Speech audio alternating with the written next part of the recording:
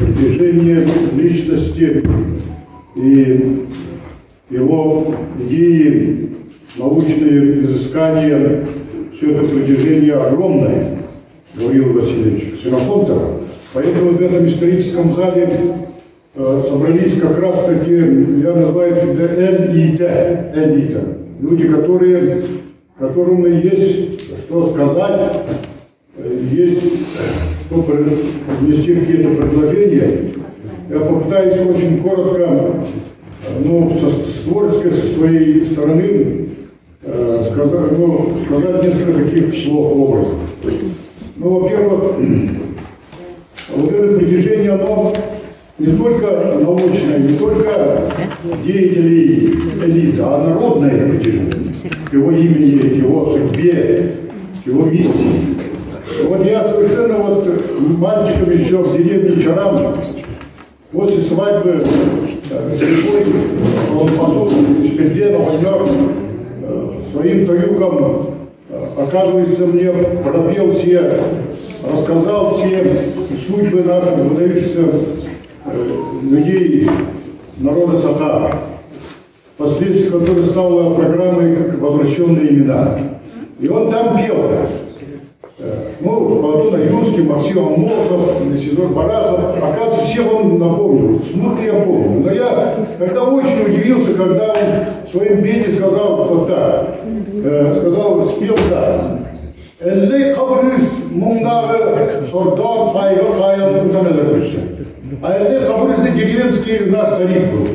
Я все время ждал, почему Эллей кабрис-то Оказывается, впоследствии, когда я уже начал читать и так далее, понял, что, оказывается, он имел в виду Серафонтов, говорил это Васильевич.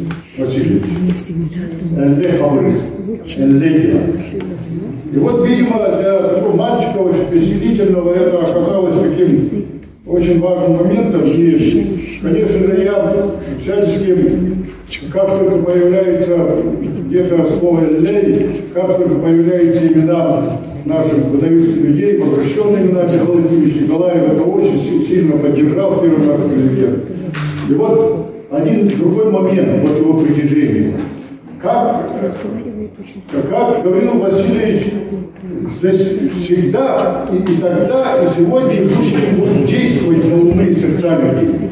Идет спектакль. Спектакль, кстати, он не главный герой, как вы помните, да? Там главный герой как раз Павел а потом, значит, и отец его. А он-то появляется почти, можно сказать, финалу.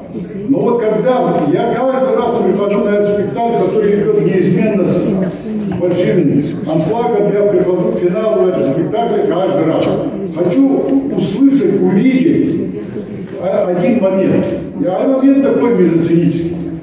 Ну, его отец в исполнении Герасим Васильев берет книгу и, и кладет на стол и говорит э, научные труды. Ага. Потом говорит шаманизм.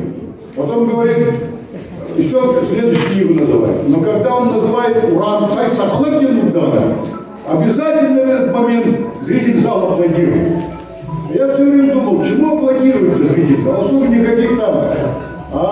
Народе, у народа Сахам, у зрителей, в глубине души, в глубинной памяти, в глубинном народе, в глубинной культуре есть вот это, э, это та благодарность за науку, за трагическую судьбу ради народа, вот этот момент он всегда благодарным находится. Поэтому зритель аплодирует ему, его труда.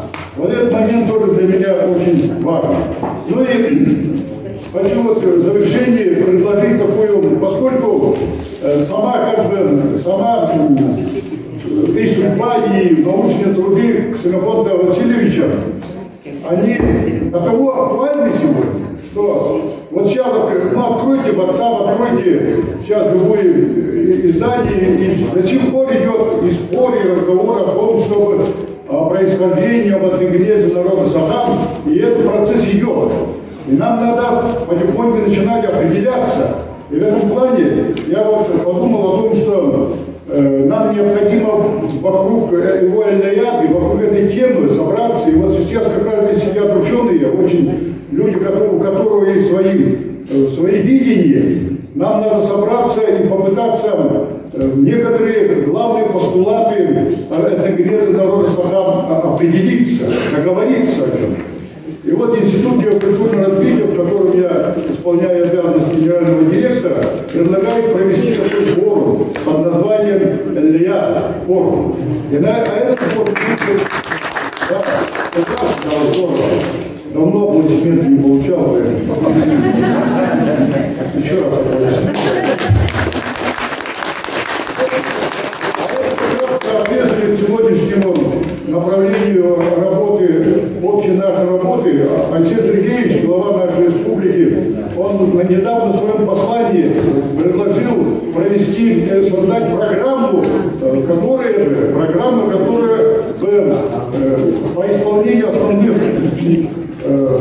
основам геополитики по укреплению традиционно российских ценностей.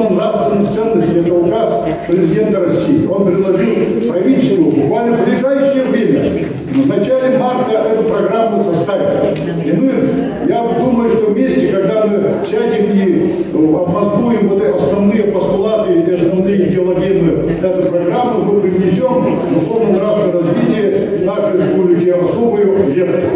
Спасибо.